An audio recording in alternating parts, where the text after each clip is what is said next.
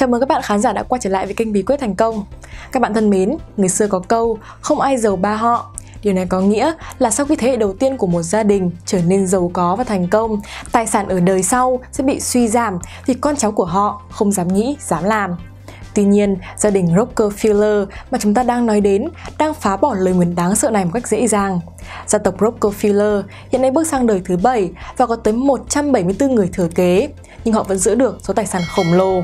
Lý do quan trọng khiến gia tộc có thể được lưu truyền cho đến ngày nay và tồn tại lâu dài như thế là vì họ đã thiết lập được một hệ thống giá trị hoàn chỉnh với 5 phương châm chính. Vậy đó những phương châm đắt giá nào? Gia đình đoàn kết và sự giàu có của gia tộc được duy trì là do những nguyên tắc ấy hay sao? Chúng ta cùng tìm hiểu trong video ngày hôm nay nhé!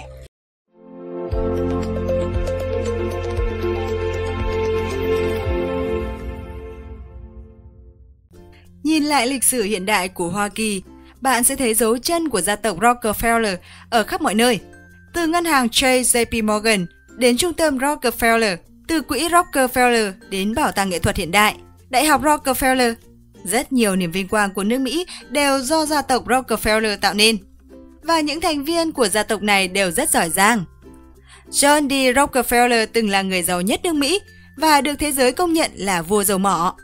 Cháu trai cả Nelson Rockefeller đã lập thành tích đáng kinh ngạc khi bốn nhiệm kỳ liên tiếp giữ chức thống đốc bang New York.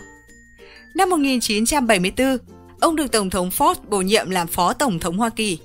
David Rockefeller là ông chủ của một ngân hàng lớn nổi tiếng.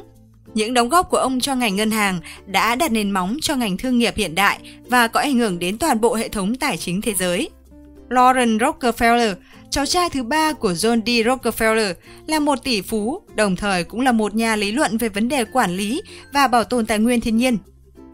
Ông cũng là người tiên phong và dẫn đầu trong lĩnh vực đầu tư mạo hiểm tại Mỹ. Điều đáng kinh ngạc hơn nữa là gia tộc này vẫn giữ được sự đoàn kết nhất trí cao, không có những vụ bê bối, bất bình hay kệ tụng công khai nào. Ai cũng không thể hiểu nổi gia tộc này đã được truyền qua 7 đời, trải qua 3 thế kỷ. Rốt cuộc hào môn bạc tỷ này được xây dựng và duy trì bằng cách nào? Phương châm gia đình 1. Giữ gìn cơ nghiệp cho gia đình. Rockefeller rất coi trọng khái niệm gia đình.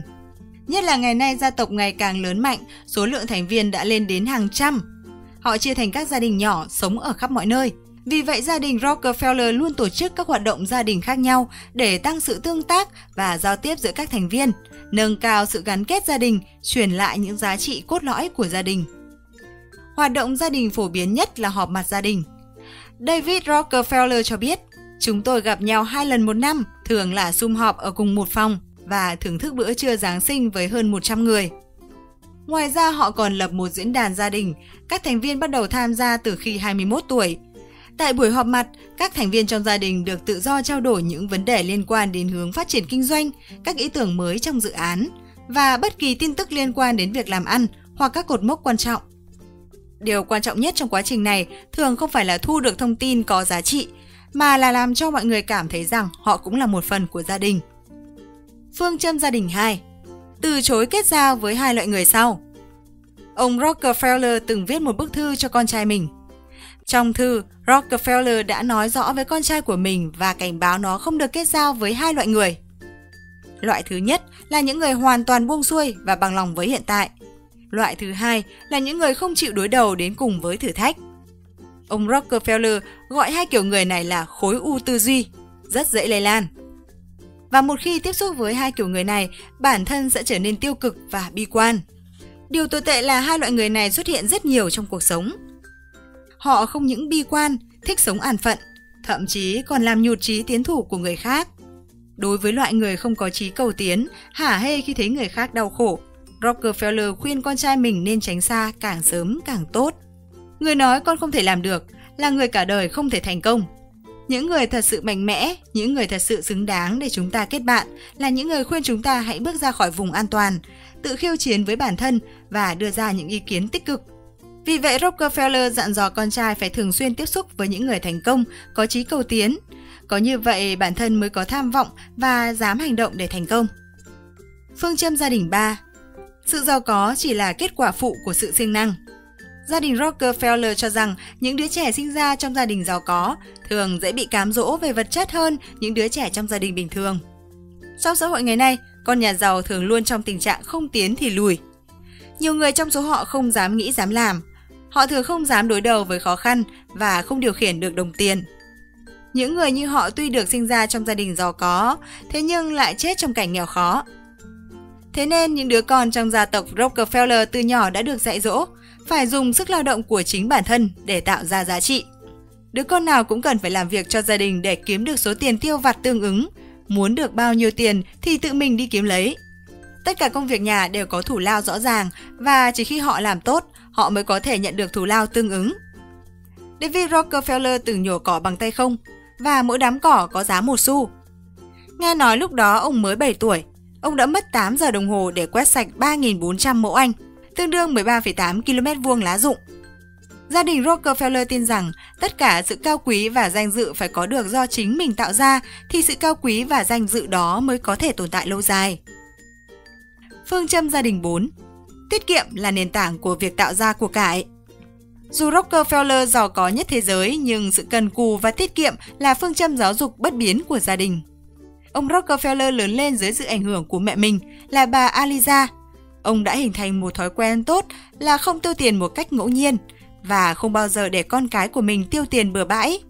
Cả đời ông sống thanh đạm và kỹ tính với đồng tiền. Ông muốn từng xu được tiêu đi đều có ý nghĩa và ông cũng yêu cầu con cái phải như vậy. Khi John Rockefeller ba còn là một đứa trẻ, ông và cha mình đã ký hợp đồng 3 chương và xây dựng một quy tắc sử dụng tiền tiêu vặt rõ ràng. Ông đưa con tiền tiêu vặt 1 USD và 50 xu trong một tuần, và tối đa không quá 2 USD một tuần. Bên cạnh đó, ông kiểm tra tiền của con hàng tuần để ghi lại chi tiêu cụ thể. Nếu sử dụng không đúng cách, tháng sau số tiền tiêu vặt sẽ bị giảm đi. Tương tự khi David Rockefeller 16 tuổi, anh đã hình thành thói quen ghi chép các khoản chi tiêu. Mỗi đồng tiền chi tiêu đều được ghi vào một cuốn sổ nhỏ. Thói quen này vẫn được duy trì, ngay cả khi anh đã xử lý những món tiền trên dưới vài triệu đô mỗi ngày. Ông Rockefeller luôn ghi nhớ bí quyết tiết kiệm mà mẹ ông đã dặn. Những thứ cần tiêu thì nên tiêu, và những thứ không cần tiêu thì hãy đặt nó ở nơi có thể sinh lời. Đây đã trở thành nguyên tắc kinh doanh nhất quán của ông ấy. Hãy khiến cho từng xu đều đáng giá. Lãng phí tiền bạc và sống xa hoa là những điều ngu ngốc mà ta không được làm. Phương châm gia đình 5 Định hình giá trị gia đình một cách thống nhất Chất keo mạnh nhất để duy trì sự đoàn kết của gia đình Rockefeller chính là họ có những giá trị gia đình thống nhất. Điều này được thể hiện qua những hoạt động từ thiện. Ông Rockefeller khuyến khích việc tạo ra của cải, nhưng đồng thời ông cũng tin rằng người giàu có chỉ là người phó thác của cải mà thôi. Triết lý giáo dục và kinh doanh của gia tộc Rockefeller chính là sự giàu có của gia tộc Rockefeller là do Chúa ban tặng và gia đình ta chỉ là người quản gia giữ lấy sự giàu có này. Ngày nay, gia đình Rockefeller sở hữu nhiều quỹ gia đình với tổng giá trị hơn 5 tỷ đô la Mỹ. Gia tộc Rockefeller khuyến khích các thành viên trong gia đình tham gia vào các hội quỹ. Nhờ có bản sắc gia đình, các thành viên trong gia đình luôn duy trì một giá trị cốt lõi và thống nhất. Mọi quyền lực đều là trách nhiệm, mọi thời cơ đều là nghĩa vụ. Triết lý làm từ thiện của họ cũng đã ảnh hưởng đến cả tầng lớp người giàu có ở Mỹ. Dự án từ thiện Giving Place do hai người giàu nhất nước Mỹ là Bill Gates và Warren Buffett khởi xướng cũng chịu ảnh hưởng từ gia tộc Rockefeller. Giving Pledge khuyến khích những người giàu trên thế giới quyên góp ít nhất một nửa giá trị tài sản của họ trước hoặc sau khi họ qua đời. Nếu những giá trị quan này không tồn tại thì việc quyên góp sẽ không có sức ảnh hưởng. David Rockefeller nói, ai có phúc thì phải làm việc thiện cho đời. Thứ mà vận mệnh cho chúng ta không phải là ly rượu thất vọng, mà là cái bát đầy ắp những cơ hội. Và để khám phá thêm những cách làm giàu và duy trì sự giàu có của các tỷ phú hàng đầu thế giới khác, hãy sở hữu ngay cho bản thân một chiếc USB sách nói nhé. Chỉ với một chiếc USB nhỏ gọn thôi là bạn đã sở hữu được hơn 80 cuốn sách hay nhất mọi thời đại về kinh doanh, làm giàu, do New York Times lựa chọn với nội dung đa dạng về tài chính, tư duy kinh doanh, quản trị marketing và vô vàn câu chuyện truyền cảm hứng mạnh mẽ rồi. Các bạn hãy nhanh tay click vào link ở phần mô tả để nhận được những ưu đãi, cũng như bổ sung thêm hành trang giúp thực hiện hóa giấc mơ làm giàu của mình nhé. Một người thành công vĩ đại đều xây dựng bản thân trên những thành công nho nhỏ. Những người thành công luôn trao dồi tài năng cho mình từ khi còn nhỏ. Một đứa trẻ đều là khởi đầu của một ước mơ. Một người có thành tựu to lớn không chỉ đem vinh quang cho bản thân mình mà còn hết mình lan tỏa giấc mơ của mình ra biển lớn. Đây là triết lý sống của những người thành công, cũng chính là suy nghĩ của các bậc phụ huynh, nhất là ở những gia tộc giàu có. Vậy giới siêu giàu đang dạy con cái của họ như thế nào để duy trì sự giàu có trong gia đình? Các bạn hãy cùng bí quyết thành công khám phá ngay sau đây nhé! Bà Carol M. Sleep, Phó Tổng Giám đốc Đầu tư tại Airbus Downing, đơn vị trực thuộc công ty tài chính Wells Fargo, nơi chuyên tập trung vào những gia đình sở hữu tài sản dòng từ 100 triệu USD trở lên cho biết. Câu thành ngữ không ai giàu ba họ, không ai khó ba đời, hay khái niệm tài sản của một gia tộc cuối cùng cũng sẽ biến mất, thường xuyên xuất hiện trong các cuộc đối thoại giữa những gia đình siêu giàu. Đương đầu với nỗi sợ đó, rất nhiều gia đình thuộc giới siêu giàu đã và đang dạy cho con cái họ cách sử dụng tiền bạc từ rất sớm để khối tài sản của gia tộc mãi mãi trường tồn. Và những bài học này hoàn toàn thích hợp để áp dụng với tất cả các gia đình chưa gia nhập giới siêu giàu. Thứ nhất, dạy con biết tiền không phải là tất cả. Trái với phần đông suy nghĩ của nhiều người, những gia đình siêu giàu thường dạy con cái họ làm giàu bằng cách gửi đi thông điệp tiền không phải là tất cả. Bà Judy Spartop, giám đốc điều hành chi nhánh New York của ngân hàng đầu tư UBS đã nói Số dư trong tài khoản ngân hàng không phải là tất cả khi nói về chúng tôi. Nếu mọi thứ người khác biết về gia đình chúng tôi chỉ gói gọn trong số tiền mà chúng tôi có, thì điều ấy không thực sự tốt cho lắm. Nếu người khác nghĩ chúng tôi chỉ có thế, tức là chúng tôi đang phát đi một thông điệp sai lầm. Để con cái của họ thực sự nhận thức được điều này, các bậc cha mẹ của những gia đình siêu giàu thường giữ kín việc họ có nhiều tiền với con cái và chờ cho đến khi mọi thứ chín mùi. Bà Sleep chia sẻ, các bậc cha mẹ siêu giàu không muốn những đứa trẻ đánh mất đi mục đích sống cũng như động lực làm việc. Họ muốn con mình tự định hình lối sống của riêng bản thân chúng. Họ biết để cho con tự nỗ lực và tự trải nghiệm thất bại. Thứ hai, yêu cầu con đi làm và để con thất bại. Con cái của các gia đình thành công rất cần cơ hội để được làm việc và được thất bại. Theo bà Spartop, thất bại đối với trẻ con không cần thiết phải là những điều gì đó quá to tát, mà hoàn toàn có thể là những việc vô cùng đơn giản. Ví dụ nếu con quên đem theo bài tập về nhà, cha mẹ sẽ không mang nó đến trường cho chúng. Nếu đứa trẻ quên đôi giày thể thao, cha mẹ cũng sẽ không mang nó đến sân bóng giúp, dù rằng đội bóng của con có thể phải bị xử thua vì chuyện này. Ngoài ra thông qua quá trình làm việc, những đứa trẻ sẽ hiểu được việc kiếm tiền khó như thế nào, mặc dù gia đình giàu có của chúng không thực sự bận tâm đến số tiền đó. Và bằng cách cho con cơ hội được làm việc, chúng sẽ hiểu được giá trị của sức lao động là như thế nào. Bà Spartop nói, nếu chúng ta không cho con cơ hội được làm việc từ bé, thì đến khi chúng tốt nghiệp đại học và bắt đầu đi làm thực sự, chúng sẽ chẳng có bất kỳ hành trang nào hay một sự chuẩn bị nào cho thời điểm đó cả. Những công việc đầu tiên lúc bé có thể mang đến rất nhiều bài học ý nghĩa cho con. Bà Sleep chia sẻ. Ví dụ con cái sẽ biết số tiền mà cha mẹ chúng sử dụng để trả tiền sinh hoạt cho gia đình thực sự đến từ đâu và đến như thế nào. Thế nên đó là lý do tại sao rất nhiều gia đình giàu có yêu cầu con cái họ đi làm từ thời thiếu niên. Thứ ba, dạy con hiểu chiến lược kinh doanh của gia đình. Để các thế hệ tiếp theo có thể duy trì khối tài sản của gia đình từ đời này sang đời khác – thì việc hiểu rõ tại sao và làm cách nào khối tài sản ấy được tạo ra là hết sức quan trọng. Bằng cách ôn luyện truyền thống của gia đình thông qua những câu chuyện, bạn có thể tìm ra một giá trị chung hoặc một chiến lược kinh doanh xuyên suốt được truyền lại qua nhiều thế hệ, bà Sleep cho biết. Nữ doanh nhân tiếp lời, Việc ôn lại truyền thống sẽ giúp bọn trẻ nhận ra rằng bố mẹ và bản thân chúng đều có xuất phát điểm giống nhau. Đồng thời những câu chuyện cũng mang đến cho bọn trẻ một ví dụ thực tế về việc làm thế nào mà bố mẹ chúng đã có thể sống và xoay sở được trong hoàn cảnh như vậy. Việc dạy cho con hiểu được chiến lược kinh doanh của gia đình sẽ giúp chúng biết suy nghĩ và cẩn thận hơn với những gì mà chúng sẽ tiếp nhận và phát huy.